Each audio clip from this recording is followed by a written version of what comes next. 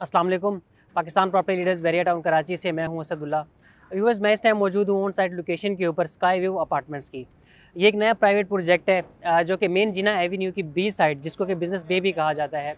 उसके जो कॉर्नर के प्लाट्स हैं, यानी कि प्लाट नंबर सेवेंटी बी से लेकर सेवेंटी वन के ऊपर जो है ये प्रोजेक्ट बनने जा रहा है।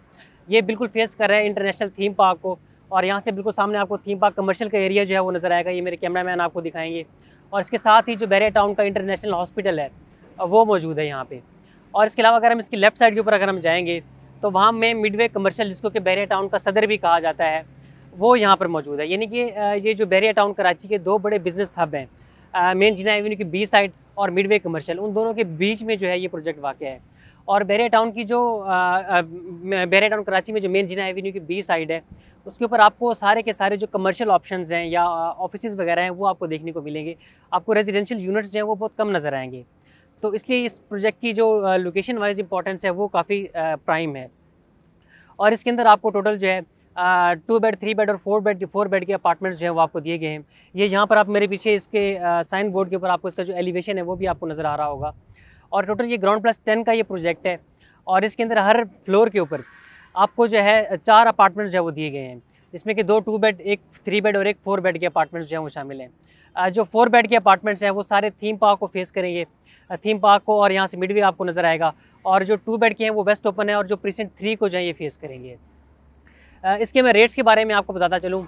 तो जो टू बेड और थ्री बेड है, उस, वो ग्यारह हज़ार रुपये पर स्क्वायर फीट के ऊपर आपको अवेलेबल है। और जो फोर बेड का रेट है, वो चार, वो बारह हज़ार रुपये पर स्क्वायर फीट जो है, वो रखा गया है। और इसकी पेमेंट प्लान के बारे में आपको बताता चलूँ तो ट्वेंटी परसेंट इसकी डाउन पेमेंट है। टेन परसेंट जो है, वो आपको डिगिंग के ऊपर देना है। और जो बाकी के, बाकी की रिमेनिंग जो अमाउंट होगी वो आपको ढाई साल के पेमेंट प्लान में, आप चाहे उसको मंथली करवाएँ या क्वार्टरली कराएँ, उसके ऊपर आपको जो है वो मिल जाएगा।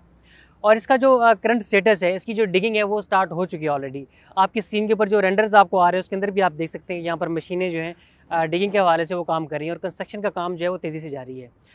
यानी कि ऐसा नहीं है कि यहाँ पर प्रोजेक्ट लॉन्च हो गया और उसके बाद इसकी डिगिंग जो है उसमें कोई कुछ ज़्यादा टाइम लगेगा। डिगिंग इसकी ऑलरेडी जो है वो स्टार्ट हो चुकी है। तो अपनी लोकेशन के अतबार से ये बड़ा एक ज़बरदस्त प्रोजेक्ट है। और इसके बिल्डर के बारे में आपको बताता चलो तो ए फाइव बिल्डर्स जो हैं A five builders and developers जो हैं, वो इसके बिल्डर हैं।